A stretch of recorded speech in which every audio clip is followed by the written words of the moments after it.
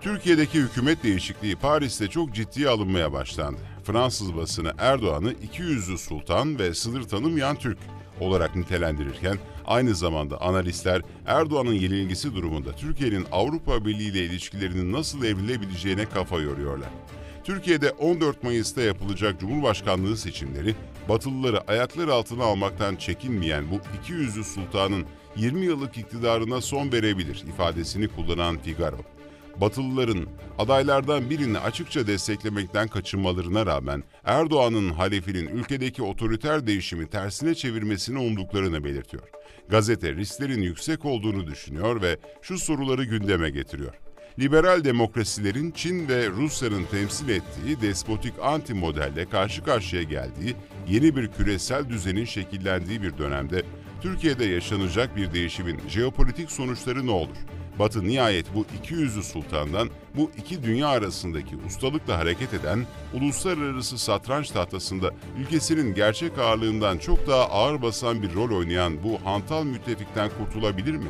Figaro, Fransa ve Avusturya gibi Avrupa ülkelerini suçluyor ve geçmişte Türklere yerine getiremeyeceklerini bildikleri Avrupa perspektifi vaatlerinde bulunduklarını belirtiyor.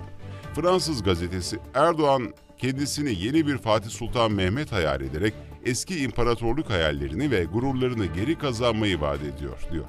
Gazete daha sonra Erdoğan'ın Suriye, Irak, Doğu Akdeniz, Ermenistan ve Dağlık Karabağ'daki politikalarını aktarıyor ve müthiş bir general olarak Türkiye'nin nüfuzunu genişletmek için elinden gelen her yerde ateş yakıyor ya da körüklüyor, diyor. Libya'da, Akdeniz'de ya da Kıbrıs'ta hidrokarbonlara el koyma politikasını, Ruslar ya da batılı müttefikler tarafından açılan çatlaklara müdahil olmasını, NATO çıkarlarına karşı eylemlerini ve göçü istismar etmesini eleştiriyor. Son olarak Figaro, sınır tanımayan Türk başlıklı bir analizde Ukrayna'daki savaşa yönelik tutumunu anlatırken, konumunu her ne pahasına olursa olsun Batı nezdinde bir miktar meşruiyet sağlamak için kullanmayı başardığını ve onları stratejik değerinin Batı'ya ihanetlerinden daha ağır bastığına ikna ettiğini belirtiyor.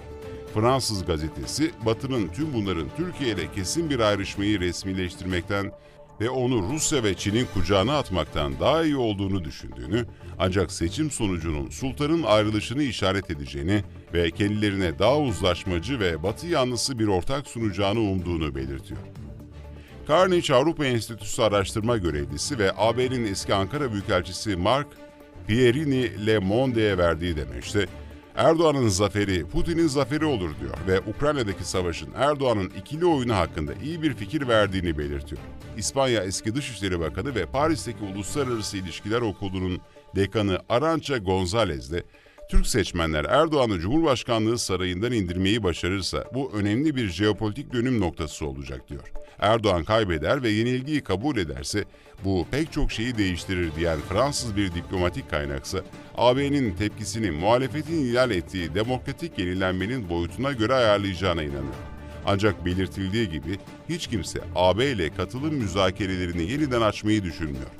Gazeteye göre AB, Türkiye ile uzun süredir devam eden gümrük birliğini modernize ederek hizmet sektörünü de kapsayacak şekilde genişletmeyi önerebilir. Diğerini Suriye konusunda öngörülebilir zorluklara atıfta bulunarak sorunlar zor olmaya devam edecek ancak iklim daha sakin olacak diyor. Ekonomi gazetesi Les Echos ise Brüksel'de ve Avrupa başkentlerinde muhalefetin kazanması umuduyla Türkiye'deki seçim sonuçlarının beklendiğini ancak Delors Enstitüsü araştırmacılarından Menzamen Koutor'un Erdoğan iktidarda kalsa da muhalefet kazansa da bunun Türkiye ile Avrupa Birliği arasındaki ilişkileri en azından başlangıçta temelden değiştirmeyeceği tahmininde bulunduğu bildiriliyor. Türkiye'nin Avrupa Birliği üyeliği ile ilgili olarak bu talebin seçim döneminde gündeme gelmediğine dikkat çeken Kutu. Türklerin çoğu artık buna inanmıyor dedi. Avrupa için Türkiye'nin Avrupa Birliği'ne katılımı resmen kapatılmış değil ama gündemde de değil. Kim kazanırsa kazansın bu belirsizlikten kurtulmamız pek olası değil diyen Avrupa'nın önemli bir başkentindeki bir diplomatik danışman da gazetenin görüşlerini aktarıyor. Gazeteye konuşan bir İskandinav ülkesinden bir bakansa Avrupa Birliği Gümrük Birliği'ni yeniden müzakere etmeyi, Türklere yönelik vize politikasını gevşetmeyi ve hatta Türkiye'yi Doğu Akdeniz gaz projelerine dahil etmeyi düşünebilir diyor. Ancak analiz Luigi Scagre'ye göre Pazar günü muhalefet kazansa bile Avrupalılar Türkiye'nin eskisi gibi davranmasını beklememeli. Çünkü ülke 20 yıl öncesine göre daha zengin ve askeri ve diplomatik olarak daha güçlü. Ona göre Avrupa Birliği üyeliği Ankara için artık o kadar önemli olmayabilir. Avrupa Birliği dışında başarılı bir Türkiye'yi hayal etmek eskisinden çok daha kolay, dedi. Akıncı TİA'dan atılan Çakır tüm kritik bileşenleri yerli milli olan motorla ateşlendi ve hedefi tam isabetle vurdu. Böylece dünyada ilk kez bir SİA'dan seyir füzesi atıldı. Roketsan Genel Müdürü Murat İkinci, Çakır hazır. Yeni nesil seyir füzemiz Çakır ilk atışında koordinatı tam 12'den vurdu dedi. Baykar Genel Müdürü Haluk Bayraktar sosyal medyada yaptığı paylaşımda Akıncı'dan atılan 270 kilogram ağırlığındaki ve 150 kilogram menzilli milli seyir füzesi Çakır hedefi tam isabetle vurdu. Siyalarımızın derin saldırı kabiliyetini artıracak bu üründe emeği geçen herkesi tebrik ederim. Çakır aynı zamanda milli turbojet motoruyla uçuş yaparak hedefi vuran ilk milli seyir füzesi olarak ülkemiz havacılık tarihindeki yerini almıştır. Motor kale ARGE tarafından geliştirilerek seri olarak üretilmektedir dedi. 150 kilometreyi aşan menziliyle Çakır mini seyir füzesi, çevre denizlerde düşman tavır sergileyebilecek tüm ülkelerin Destroyer dahil büyük savaş gemileri içinde ciddi bir tehdit oluşturabilecek. Üstelik Çakır benzerlerinde görülmeyen çok sayıda modern özelliğe de sahip. Çakır seyir füzesinin dün gerçekleştirilen ilk atışı esnasında Kale Arge üretimi özgün füze motoru KTJ 1750 de ilk kez kullanıldı. Kale Arge, Türkiye'nin füze motoru alanında Fransa'ya olan bağımlılığını sonlandırıyor. Diğer sürpriz ise Türk semalarının koruyucusu Siper sahaya inmeden önceki son testinde uzun menzilde hedefi tam isabetle vurdu. Envantere girmeye hazırlanan Siper Ürün 1'in entegre sistem seviyesi atış testinde ilk defa röle aracı ve çok fonksiyonlu atış kontrol radarı kullanıldı. Daha önceki testte Siper'le 100 kilometre menzile ulaşılmıştı ve ilk testte kullanılan AIRS radarına ek olarak alçak irtifa radarı kullanılmıştı. Türkiye'ye F-16 satışı hakkında ABD Kongresi için hazırlanan raporda satışa onay verilmesi durumunda F-16 savaş uçaklarının ABD'nin ortakları olarak belirtilen Yunanistan, Güney Kıbrıs Rum kesimi ve SDG, YPG'ye zarar vermek için kullanılabileceği belirtildi.